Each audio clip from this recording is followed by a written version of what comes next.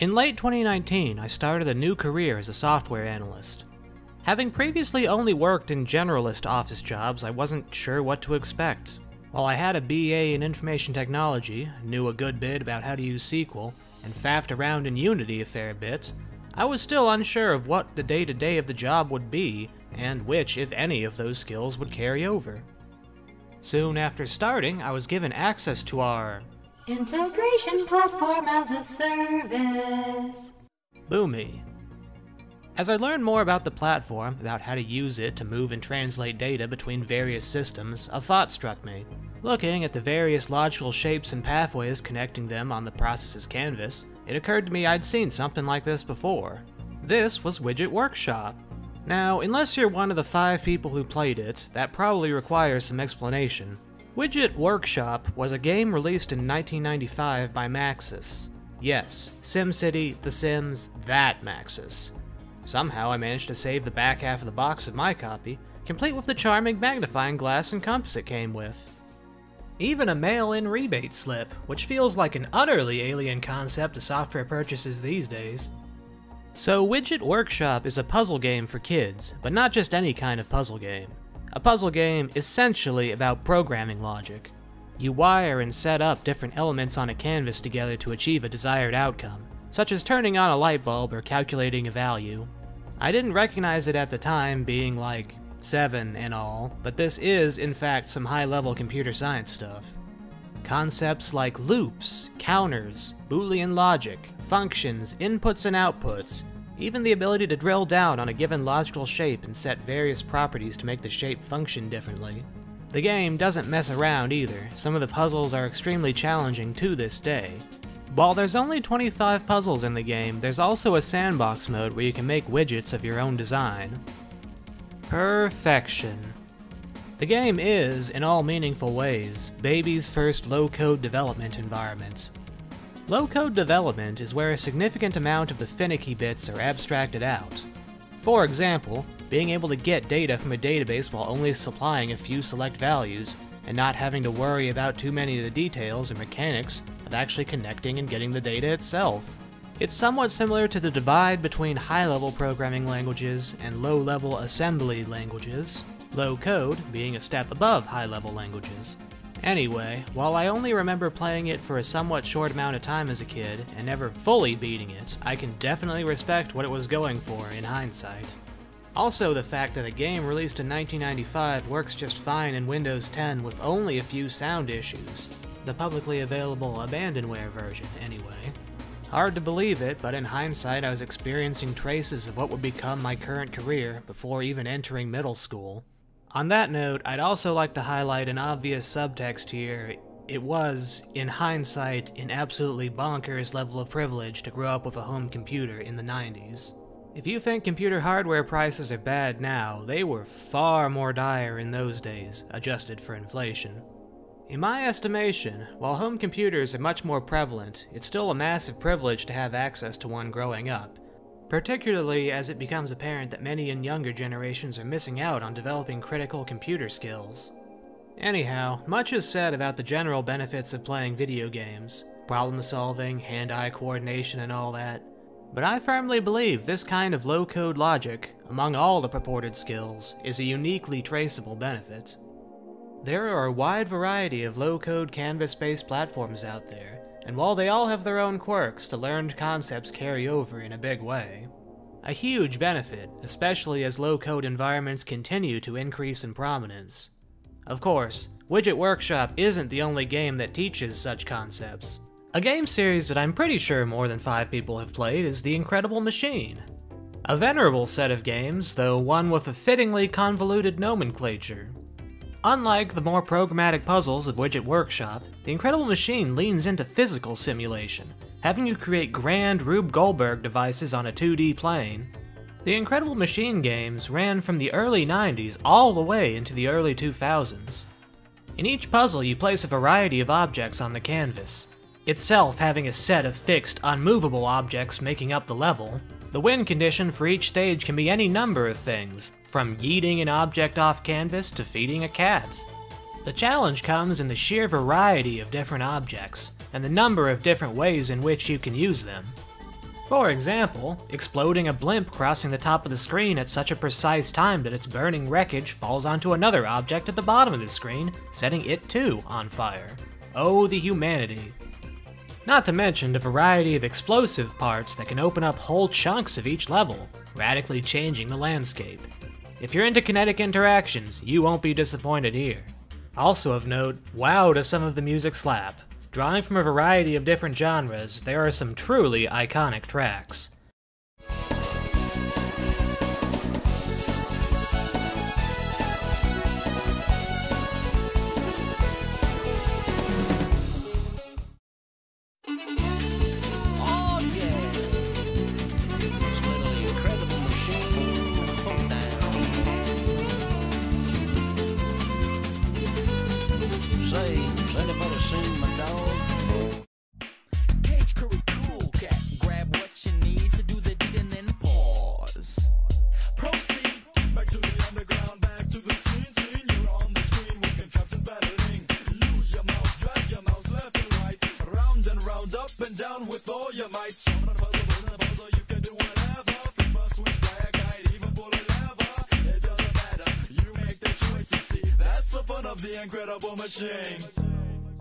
Though that might just be the nostalgia talking, admittedly.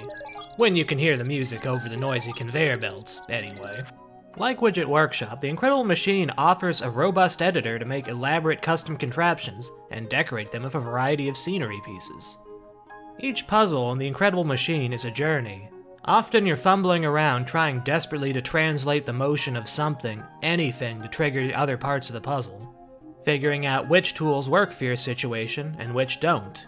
The way forward is not often particularly clear, and brute forcing won't get you terribly far.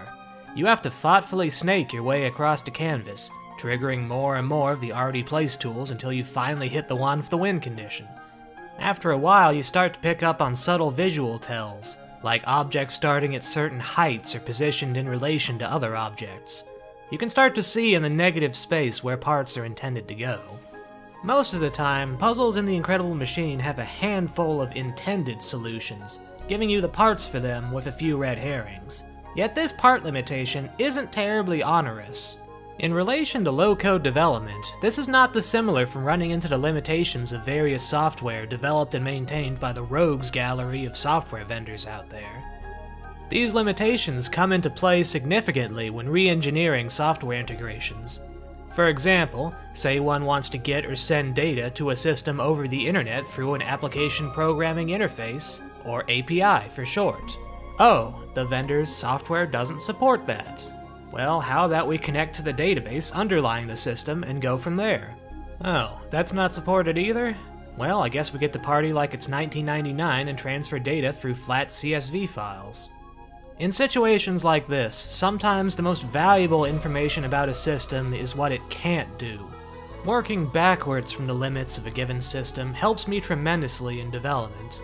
Cut away the impossible and choose from the best set of what options remain. A great many games teach this lesson, but it comes to mind most in the Incredible Machine series. It's the physics simulation equivalent of solving a row or column in Sudoku. Also, real quick here, I want to highlight the fact that the Incredible Toon Machine, the black sheep of the Incredible Machine family, does indeed exist. What a strange one that is, playing something like a bizarre itchy and scratchy cartoon. There's more of Bad Rats, the Incredible Machine's weird, violent knockoff, in there than I think most would want to admit. Anyway, moving on. No discussion of games involving programming logic would be complete without mentioning one or more of Zachtronics' works. Zachtronics, in addition to putting out a game that was low-key a major inspiration to Minecraft, are most well known for their programming games. Of them, admittedly, I have only played Opus Magnum and SpaceChem, and while I found Opus Magnum a beautiful, intricate experience, it was SpaceChem that introduced me to the Zachtronics style of programming puzzles in the first place. And it is SpaceChem that I believe best illustrates the low-code concepts I'll elaborate on. Now, SpaceChem's version of programming is setting up instructions for two different manipulator arms, or Waldos, one red, one blue. The Waldos move at a fixed speed on paths you designate, and execute any command shapes that they encounter.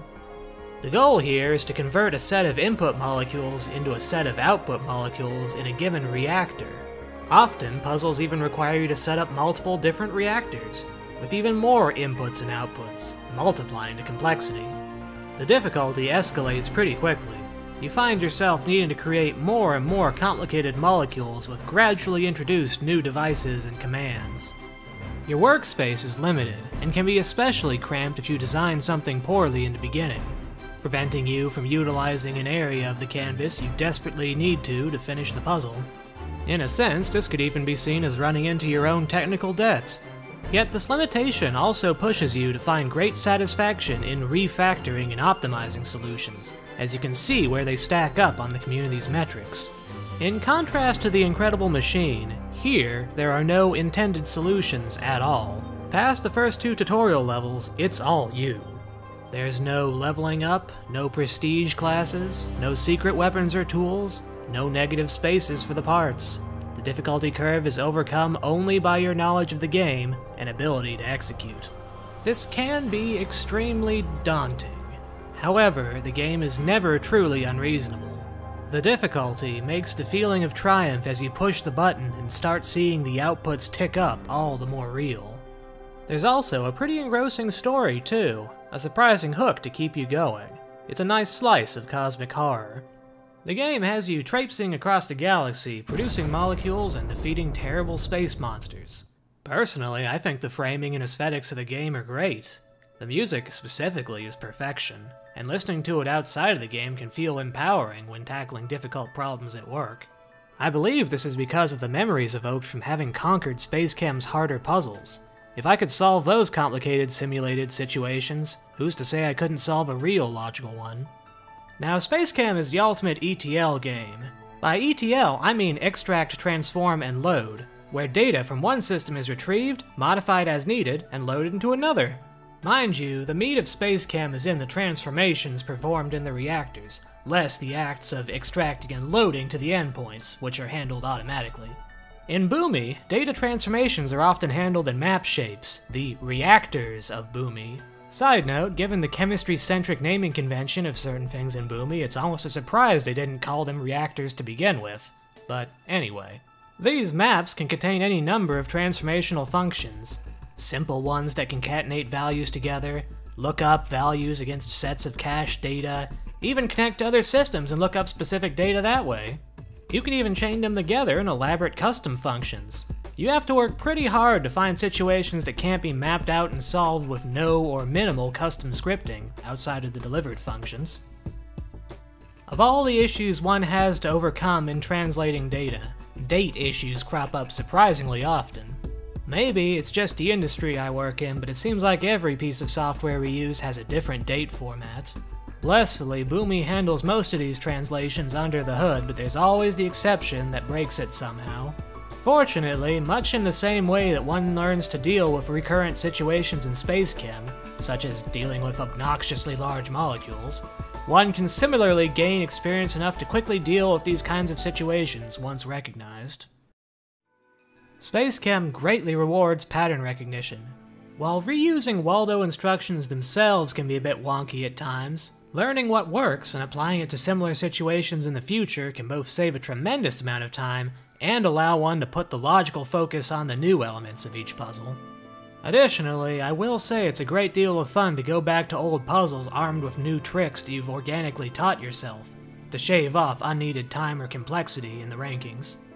Also of note here is the value of looking up potential optimizations others have done and implementing them in your own solutions. It can still be an interesting challenge to mesh part of somebody else's solution with your own.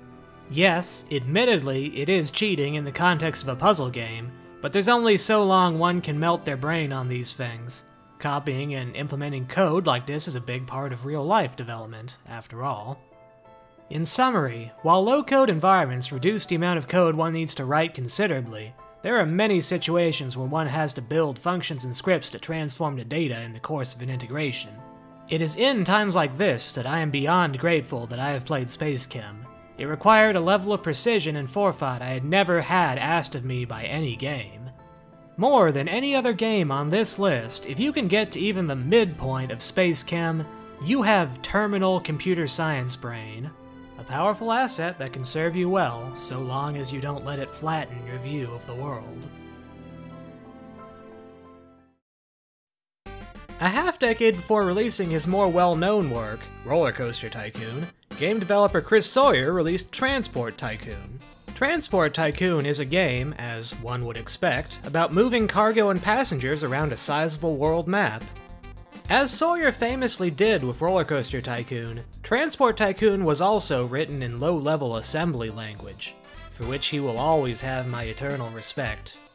I also enjoy the irony of using a game programmed in assembly to teach a few low code concepts. Anyway, it's hard to overstate how much Transport Tycoon was lightning in a bottle. Sawyer himself tried to recapture the magic in 2004 with Locomotion, with very mixed results. Instead, the one to ultimately inherit its mantle would be itself. Open Transport Tycoon Deluxe, also known as OpenTTD. The open in OpenTTD refers to it being an open source, totally free gaming project, using the existing Transport Tycoon as a base to work from. I'm actually even playing it with the sound, music, and graphics copied from the Transport Tycoon Deluxe CD I played on as a kid, though I'm sure most people play it with the completely remade graphics. It's a bit flabbergasting to think that after all these years, OpenTTD is still arguably the best game of its kind.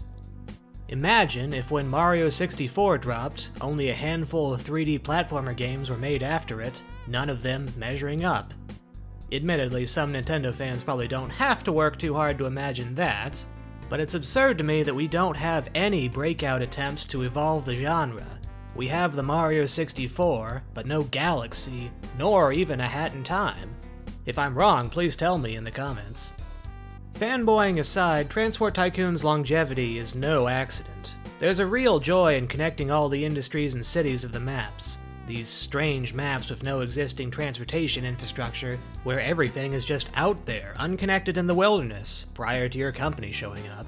Christ, maybe Death Stranding takes place in a Transport Tycoon universe. Anyway, the gameplay loop of gradually expanding your transportation network is a very, very strong one that builds on itself as you create more and more transport routes.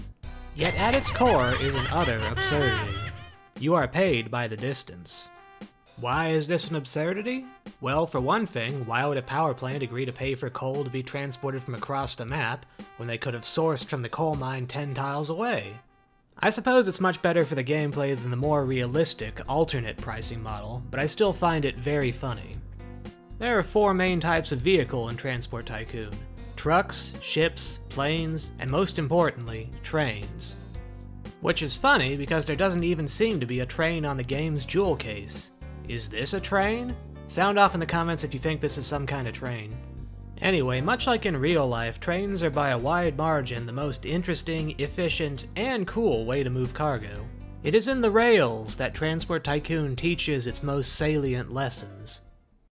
The sprawling rail networks that crisscross the landscape of a given map often represent hours of work, where one must consider questions of capacity, scale, and flow.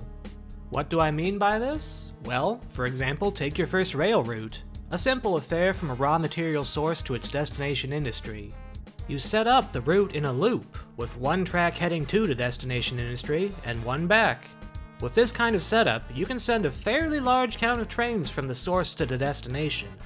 A rule of thumb I use is to always have a train loading resources in the source station. Even at this very early stage with only a single point-to-point rail network, significant interruptions of the network are possible. Say, for example, a train breaks down, stopping all the other trains behind it for a time. One can choose to play with breakdowns turned off, admittedly, but I find the challenge much more interesting with them on. This breakdown interrupts the flow of the network, losing potential money as you are paid more the faster you deliver the goods. Not just from the broken down train either, but the trains behind it. There are a few different ways to work around this. To start, trains need servicing every once in a while to avoid constant breakdowns. One needs to have train depots. These impossibly small single-tile buildings that can somehow fit an entire train inside. Trains will divert to these depots after breakdowns and at set intervals. Now, this too presents something of a flow problem for a rail network, as train depots slapped haphazardly directly on the network will slow it down every bit as much as breakdowns will, as trains will slow down considerably when entering and exiting depots, as the other trains wait for them. But this can be ameliorated by giving the depots some extra track to let trains get up to speed and merge back onto the network. Yet all the servicing in the world won't stop random breakdowns completely. To fully handle this situation, one has to increase the capacity of the network. By this I mean have more rails going in either direction to allow trains to navigate around the stalled train and keep the journey going. Trains in OpenTTD can pathfind pretty well with the enhanced signals, arguably OpenTTD's greatest original feature. Now, while doubling up on tracks is not necessary in the very beginning of the game, you'll find yourself wanting a good set of at least two tracks going in either direction on your main lines as you build them out. As one starts to build the network, building up routes with new sources and destinations, there's a bevy of issues that invariably crop up. The aforementioned question of capacity does not simply go away with a mere redundant set of rails. The tendency is to want to keep pouring more and more trains onto the existing network to avoid having to build new lines and to leverage the existing network as much as possible. But too many trains can choke a network and reduce the overall speed of all the trains in it as they reach a near gridlock state, quietly taking turns moving six tiles each. An inattentive player may see a station overflowing with waiting cargo from this slowdown and build yet more trains, exacerbating the problem. The train is late. Adding to the complexity here is that industries change production levels all the time, both increases and decreases, so it can be very easy to mistake a slowdown in the overall network for an increase of raw material production, leading to, well, I'm sending in more trains.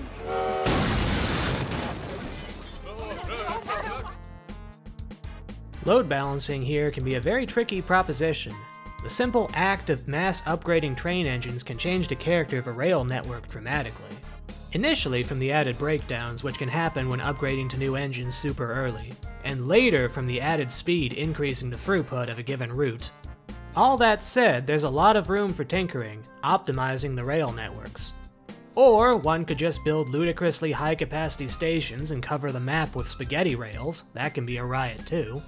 I hope she made lots of spaghetti. Aside from these questions of slowdowns and capacity, there is also a situation that can genuinely kill your rail network outright. That of the deadlock. Take for example this oil refinery. It accepts oil from the oil trains supplying it, and produces a tremendous amount of goods to be taken to a city on the other side of the map by goods trains. Now here's the kicker. The amount of goods produced is directly tied to the amount of oil taken in. No oil, no goods. Say for example you're only using one station for this oil refinery. It would not take much for it to be jammed with goods trains, preventing the oil trains from delivering anything. Now, the long-term behavior of this is every train destined for that refinery station stacking up in front of the entrance. It's a pretty good bet that that will block other elements of your network too, to say nothing about the tremendous waste of the stuck trains themselves. Now one could try to solve this quickly by splitting the station into two parts and using waypoints to route the oil trains one way and the goods trains another way, with a suitably long track split before the station, but this only solves part of the problem. Every single goods train on the same network as the oil train slows the system down, hurting its overall train speed and throughput. For that reason, it's the optimal solution in this situation to just bite the bullet and make a whole separate network for these second tier products. And never the twain of their trains shall meet. Although, maybe a few incidental trains here and there, hundreds of tiles away from the heaviest traffic, couldn't hurt. Such are the temptations that creep in. So what's the core difference between OpenTTD and the games previously mentioned? In a word, change. A solution in Widget Workshop, The Incredible Machine, and SpaceChem will always work if it's worked once already. By contrast, in OpenTTD, one has to build for the future to be successful, and continually monitor what's actually going on in the network. One must always be ready to step in and fix things, as new forms of traffic or significantly increased volume are added. To say nothing about your network's oil refinery being obliterated by aliens, if you're playing with disasters on. These kinds of required changes are the norm in the real world, No software integration lasts forever. Eventually, one or both of the systems involved with a given integration will require a change, or even be replaced with an entirely new system. It's generally even a good thing that such changes are required as they can imply new functionality being delivered to the users. That said, the oil refinery being obliterated by aliens situation can indeed crop up here too. Say, for example, an integration that had been quietly pulling down data from a vendor's Amazon S3 bucket every day for years suddenly stops working completely. You scramble for a time, check to make sure S3 isn't down again, and quickly reach out to them. They tell you that you need a new software tool that needs to be deployed and run on a server somewhere. Okay, cool. Must have missed that email. That's such as integration. Despite all the curveballs, with a little care, integrations can be durable. Making peace with change is the first step to handling it, and taking the time to sand off the hard edges now can save you a ton of pain down the line. In OpenTTD, there's also a lesson in considering the big picture and trying your hardest to anticipate knock-on effects. Complicated pieces of software can have a lot of unexpected interactions, in exactly the same way as adding a new rail route to a large and complex OpenTTD rail network. Anyway, to those who have never played Transport Tycoon or OpenTTD, I strongly recommend the latter. It's free on Steam, so it's literally never been easier to get a hold of the most recent version. Do, uh, be careful though, as the game essentially creates its own temporal pocket dimension, hurling you violently into the future if you're not careful. Definitely keep a clock handy. On that note, let me introduce the final of the five games I intend to cover, though I will have a quick section for some honorable mentions after. And finally, we arrive at Factorio. Factorio is a game where you crash land alone on an alien planet, with the end goal being to launch a rocket back to space. Now, unlike, say, Pikmin, you can't just find your wayward starship parts scattered in the crash. You need to make everything from scratch. You need to harvest the resources to make the things, to make the things, to make the things, in effect. Not only that, you need to make, make, make the things to research how to make new things. And you need a lot of it. All of it. Hence, your focus becomes building a sprawling factory complex which produces everything you need for your rocket in an automated and hopefully scalable way. Going back to the Pikmin comparison, you're not exactly doing this with the approval of any part of the natural world. As your factory expands its ecological footprint, more and more aliens attack it, seeking to remove your pollution from their planet. Many of the games on this list that physically simulate programming logic feature bugs that can crawl in from environmental factors, but here they are particularly vicious. Symbolically, it's quite a striking allegory for resisting extractive capitalism, but that aside, Factorio brings together quite a few of the concepts I've spoken of already, and it does so in a way core to the success of its gameplay. Gameplay so successful that it's a running joke in the community to call it Cracktorio because of its addictive properties. Take for example here, in this freshly generated world, you can see the outlines of where you can build your initial factory in the negative spaces between the starting resources. After getting your first powered miners and initial conveyor belts set up, you encounter the SpaceChem-like challenge of feeding your first stone furnaces. It can be tricky to get the right configuration of robotic arms when working at this early stage. And of course, the importance of building for the future can't be overstated here, as building something in a cramped and weird manner can be a recipe for headaches down the line. Though I will say, unlike SpaceChem, you're given a lot more in the way of new tools to change things up later on. Faster conveyor belts, trains, and even flying drones. All these wonderful tools that make moving parts and materials around the factory all the more interesting. Keeping the factory fed is quite the challenge too. Unlike Transport Tycoon, where raw material production can vary without warning, here you're presented with the literal amount of all the raw materials on their deposits, ticking down to depletion. You must therefore monitor your raw materials carefully and expand your harvesting to new deposits. These deposits can be pretty far from your main complex, requiring you to make use of trains. Adding trains to the mix requires you to solve some of the problems that crop up in Transport Tycoon, such as signaling and whatnot. Yet here, there's even more challenges you have to worry about everything down to fueling the trains, and bugs eating the tracks, of course. There's also the precarious balance between inputs and outputs that can put your load balancing ability to the test. You often have to carefully, or not so carefully, divide out the intermediate materials like iron plates between tons of different production chains. A delicate balance, but a fun one to tinker with. Even from the raw materials side, something as simple as trying to expand your iron smelting capacity can run the risk of depleting your coal production, which can leave your factory powerless until you increase production or find other power sources. Power 2 being yet another resource to manage and bring more and more capacity online as needed. To bottom line it, Factorio is the perfect game to play if you're looking to build up skills relevant to creating and maintaining low-code solutions. It's in the types of problems you solve, the types of, uh, bugs you encounter, the way you discover tricks and efficiencies along the way. All of this adds up to a great, if dangerously addictive, teaching tool. While obviously nothing is a substitute for doing the work itself, one can build up these systemic patterns of thought, like asking the right questions, keeping the whole system in mind when making changes, and planning for the future. It's also a damn good game to boot. Don't wait for it to go on deal. The developer chose the path of never putting it on deal ever, which is an interesting approach, but one that definitely seems to have worked out for them. Anyway, now for the honorable mentions. First, I want to mention Minecraft.